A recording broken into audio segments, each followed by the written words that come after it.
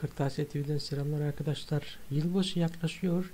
IKEA mükemmel bir kampanya duyurdu arkadaşlar. Sizlere tüm ayrıntılarını videomuzda hazırladık.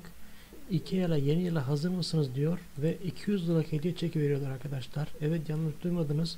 11 Kasım 2 Ocak arasında arkadaşlar 200 liralık hediye çeki var arkadaşlar. Detaylar videomuzda arkadaşlar. Takipte kalın. Beğen atmayı unutmayın arkadaşlar.